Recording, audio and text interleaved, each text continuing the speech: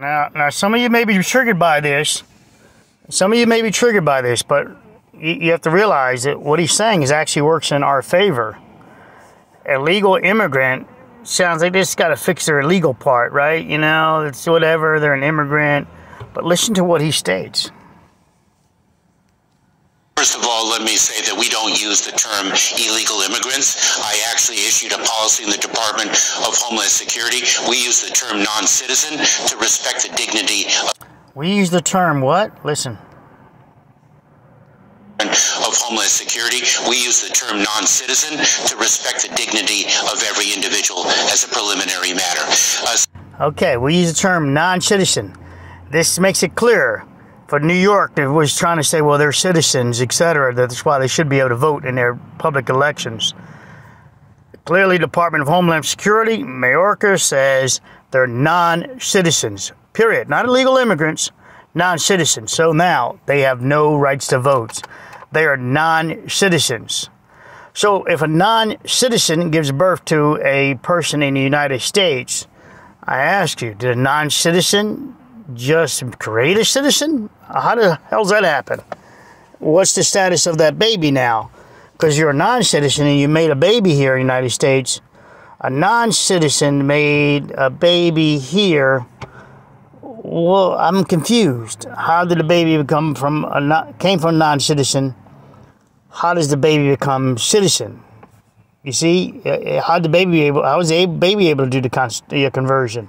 I know, I know. Our our uh, setup we have here is you have the baby here, you get to claim uh, citizenship in the United States, and that's all the all the 52 states. Yeah, I said 52. I'm like Biden. All the 52 states. Oh, is that weeks in a year?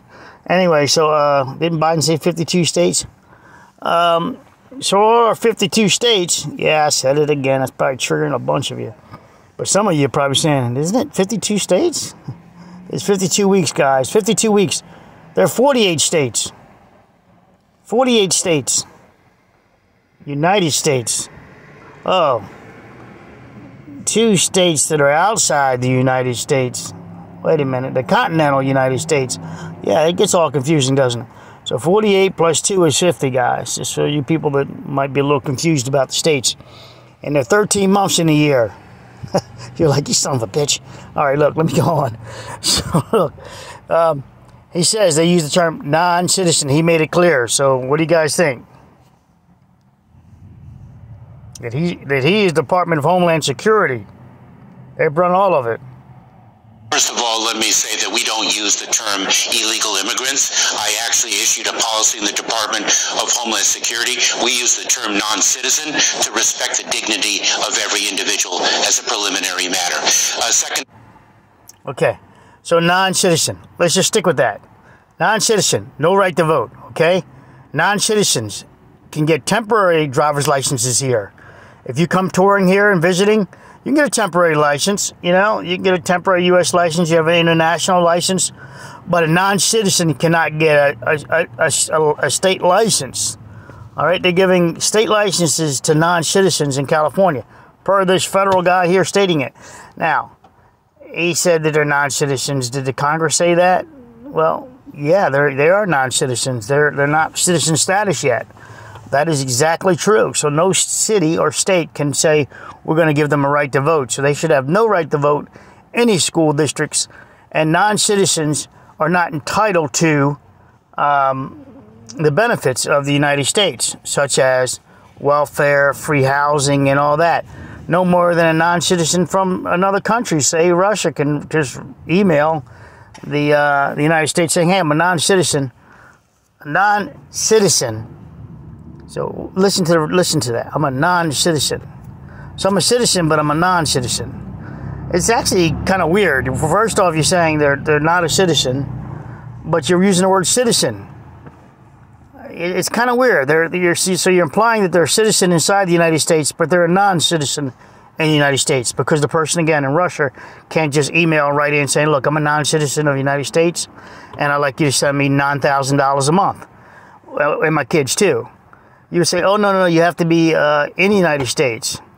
So is it a non citizen located in the United States? Would that be more definitive, or can other people just apply that live outside the United States? You know the way I play games, guys. I hope you enjoy a little uh, um, brain game today. Non-citizens is what they refer to, which I agree to. That's even better than illegal immigrants. Immigrant sounds like you got some status. Non-citizen makes it clear you can't vote. You're a non-citizen. Kind of weird though. Um, they do have anybody here, even touring, has the same rights as far as they can uh, freedom of speech while they're here. They have, uh, which is weird, right?